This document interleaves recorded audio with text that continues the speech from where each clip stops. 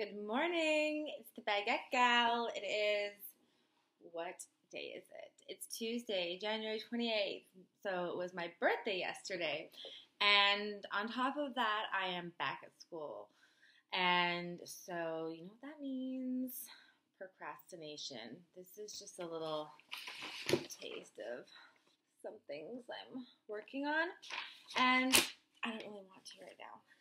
And um, I actually just had a message from someone wishing me a happy birthday and saying, you know, keep up with the baguette reviews. And I was like, yeah, you know what? I will. So I'm actually at my stepmom's right now, and I didn't have any of this planned.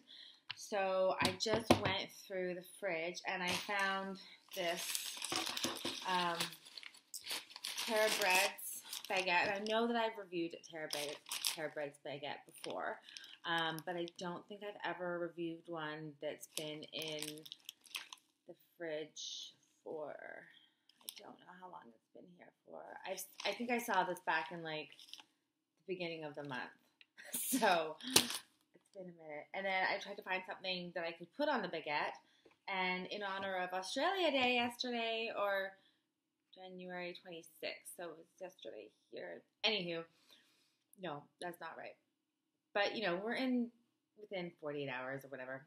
Um, and I know that there's some like not everyone is acknowledging Australia Day, but um, you know, for political reasons, I'm not going to get into that right here or now. But anyways, I love Australia. I'm a citizen. Grew up there, so I love Vegemite. I'm a happy little Vegemite.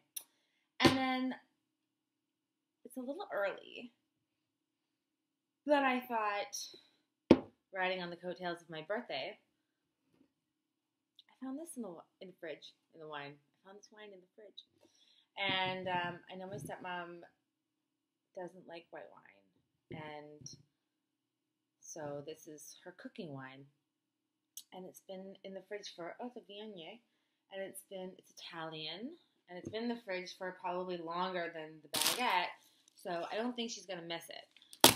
So, and I think that I actually have been doing um, some research lately, and apparently, drinking while studying helps you. Um, I mean, like not excessive, but you know, like a sophisticated amount. That looks fine. Um, can actually help with memory retention. Um, and here's a plate from earlier, my breakfast. I had a piece of toast. Um, I don't think that'll get in the way of this. Oh, and it's pre-sliced. So, cool. Oh, more pieces. It's rock hard, by the way, like very, oh wow, it's just all in pieces. Actually, come to think of it, I think that she says something about being able to use this for croutons or something. I think we're past the point of being able to cut this or break this in any way. Um, I'll still smell it. Mmm, not terribly great. Definitely crusty and crunchy. I feel like it's going into petrified stage, but um, this seems like the most easy or able, the ability to eat this is the easiest out of all these without completely destroying my teeth. And um, so this is really convenient. It's just a little tube of Vegemite and just, I don't have any margarine, otherwise I would do that. There we go. Cool. oh yeah.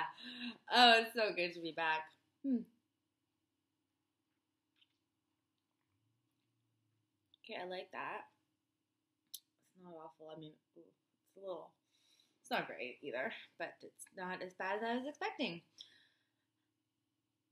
I'm actually a little bit nervous um, to eat this, so here we go.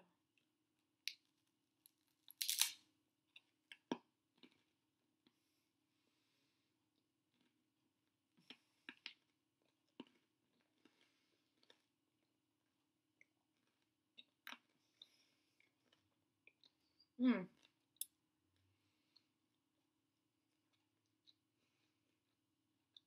Vegemite is such a distinct flavor. And very strong. It's good. It brings back memories of primary school and Vegemite sandwiches.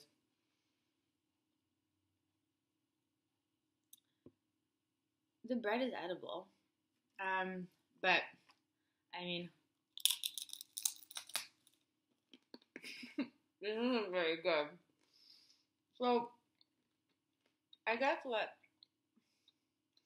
we can really ascertain here is that this baguette is stale and it doesn't taste very good. The wine isn't great either. So we'll put these back in the bag and my stepmom can do what she wants with it. Probably throw it out when she realizes that it's still in there and carry on using this for cooking oil. Thanks for joining me. I hope this has been in some way, shape, or form useful. Okay, bye from the Baguette Gal.